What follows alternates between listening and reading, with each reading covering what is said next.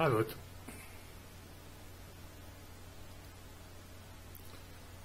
Am fost vrednic acum, după însemnarea petiția 2.3, care efectiv a presupus un mare volum de muncă până a reușit ca să o realizez. Schimb puțin registru. O eu conte scriptum. În ziare extrag Gigi îl pune pe Cioflină să-i citească pe toate. Se referă la scrisorile care le primește Gigi Becali. Gigi Becali. Cine este Cioflină? He, general colonel cu trei stele.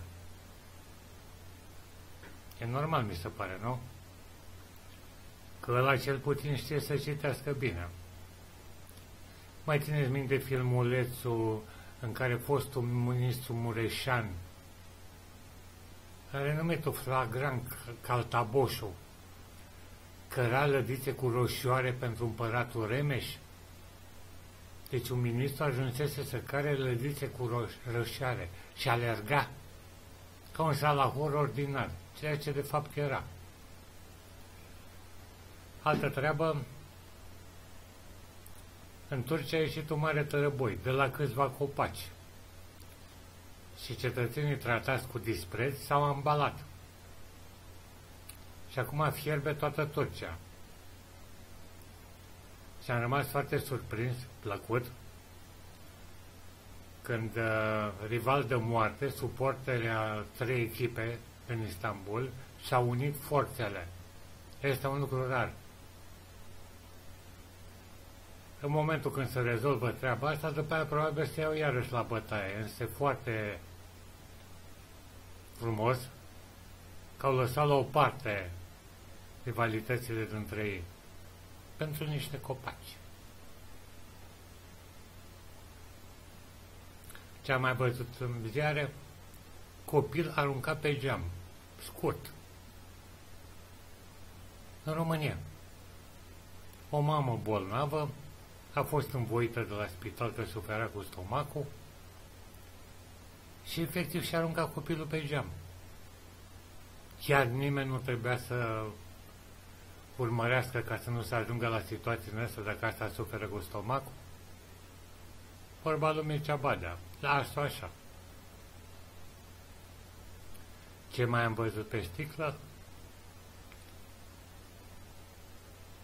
I s-a tăiat gâtul unuia de către un vecin cu sabia pentru niște cireșe și ăștia votează. Și am mai văzut o poză care nu o găsesc momentan, dar poate o găsesc eu, în care Madame Merkel îl saluta pe Băsescu la nu știu ce reuniune. Și Băsescu stătea jos pe scaun și vorbea cu doamna Merkel care stătea în picioare. Mârlan prezidențial. Nimeni nu i-a spus lui Băsescu, de fapt nu e vina lui, vina lui Măsa, că atunci când vorbește o femeie cu tine sau tu te adresezi unei femei, te scol dracu în două picioare, indiferent de grad și funcție. E prost. Trec la body. Însemnarea intitulată 200 de caractere, ajung eu și acolo. Șalul spaniol. Mi-a plăcut filmulețul. Și am subliniat cu roșu două lucruri. Pentru un prădător generalist, e strategic și foarte avantajos să învețe ce este bun și ce nu este bun de mâncat, încât el să poată decide dacă să riște sau nu să atace prada. Și a doua, un evertevrat învață atât de repede să evită o specie periculoasă pentru el. Păi de ce am dat această însemnare? Păi ăsta exact modul meu de acțiune.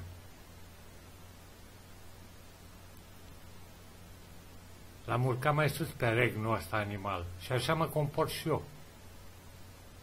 Uitați chiar însemnarea anterioară, petiție 2.3. E un cetățean nevertebrat sar la gât la 303 salariați, nevertebrați. Și mai și dansez după aia de mama focului ca să țină ăștia bine minte ca doar să fie mai cu atenție cu mine, că nu sunt un cetățean nevertebrat oarecare. Sunt ăla care face urât.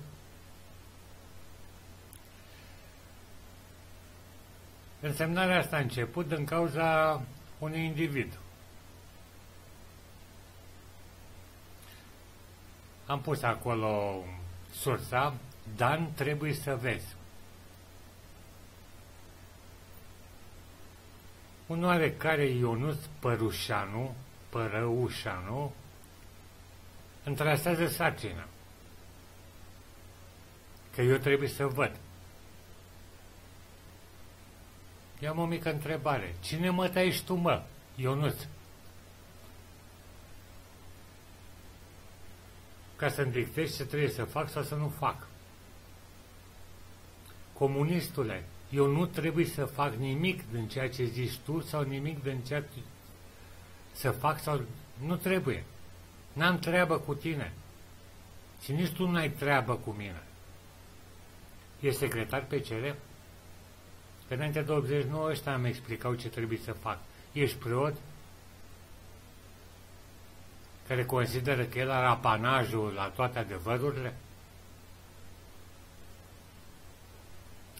Apropo, de ce te tragi de șiretul cu mine și îmi spui, Dane, câți ani ai mă, buțoiule?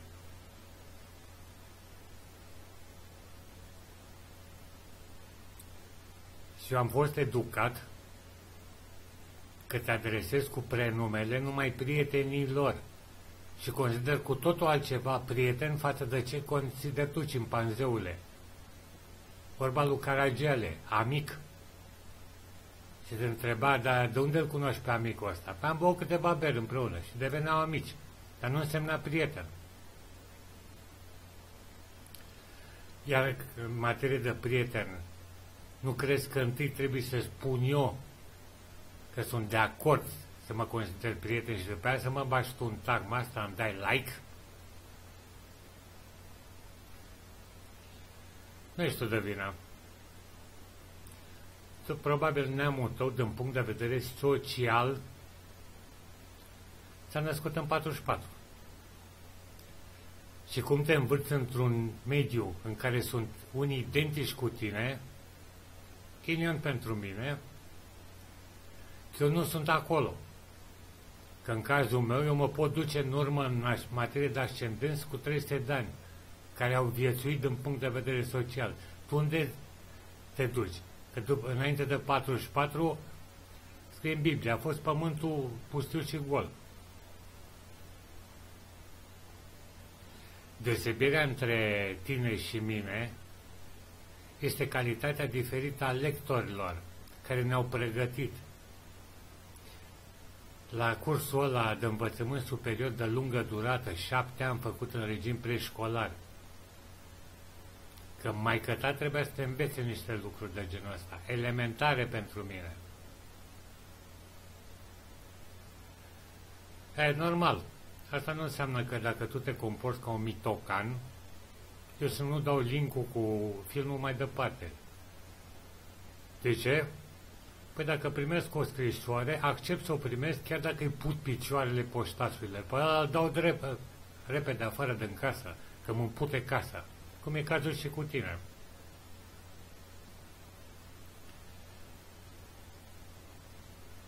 Trec la următoarea. Spune lumii. Că am vrut să văd cine dracu e ăsta. Ăsta se pare că s-a născut SEO sau putem semn consultant.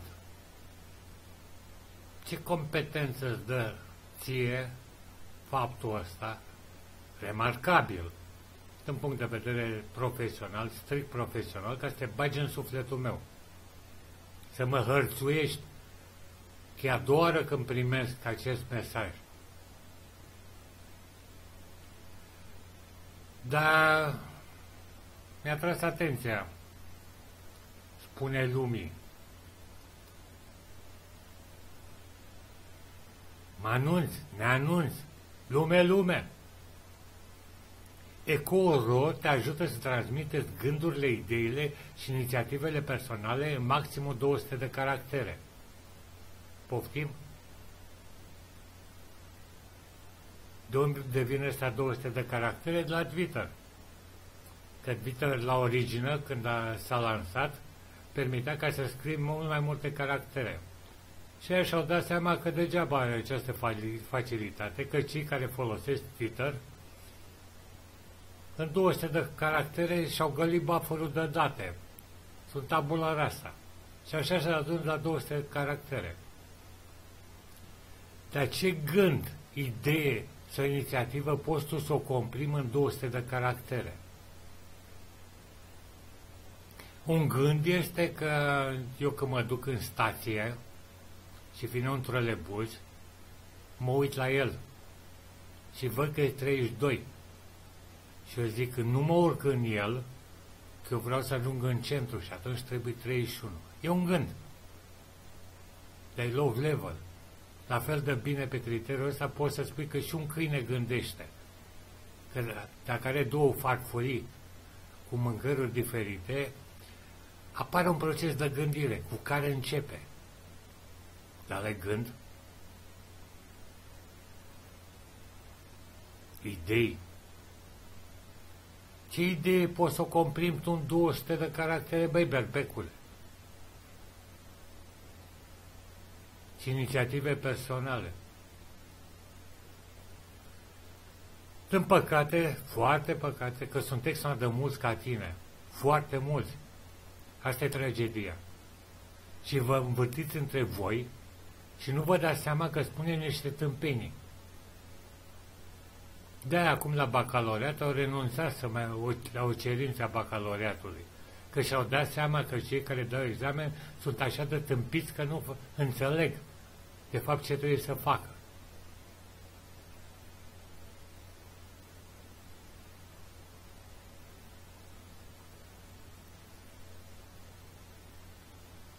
Dar a murit, nu?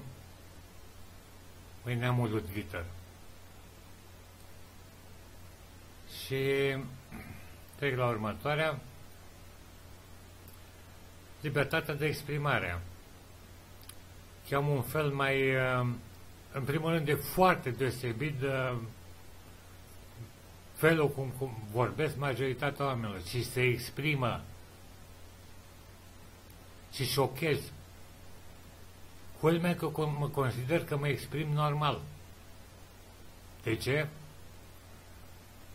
Păi până și unii la CEDO spun că libertatea de exprimare se aplică și celor care lovești, șochează sau neliniștesc o persoană sau o parte a populației, cum e cazul tău acum. Eu am voie să mă exprim așa. Că altfel nu reușești să te faci să schimbi dracu macazul. Standard, când e unul care e tâmpit, nu-i spui clar că e tâmpit. Îl mângâi pe cap. De ce? Ca așa îți asigur posibil, protecția că atunci când tu ești tâmpit și ăla să te mângâie pe cap în loc să-ți tragă un șut în fund. Personal, eu aplic o metodă, e un proverb rusesc. Dacă te întâlnești cu un idiot, îi dai un pumn în cap ca să tacă. Îi spui scurt ce trebuie să facă și dacă nu aprobă suficient de repede, îi mai dă un pumn în cap. Cam așa procedez eu. Îmi dau seama că implicit accept că oricine descoperă că eu am un bed în gândire, să mă taxeze la fel. Dar nu mi-e frică ca în 763 de însemnări și încă niciunul n-a găsit beduri în gândire. Capisco reprezentant a 200 de caractere. Ești de pe strada mea, vezi că în stânga suc sau broțărului e o săgeată. Clic pe ea și out. N-ai ce căuta aici, că mă împuț casa apartamentul 14. Da. m-am relaxat, nu? Și în încheiere, ca de obicei, vă pup. Și pe tine, Ionuț Părăușanu. Joacă acolo, la grupa mică. Nu te băga aici, că n-ai față și nici creier pentru așa ceva. Apropo, tu poți vorbi așa 15 minute să expui gânduri, idei, sentimente cum fac eu? Ne-am udut, Peter. Dăm o mostră de genul ăsta și promit că o public aici.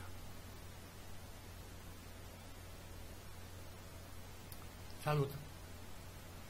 Și te pup încă o dată. O lipsă totală de considerație.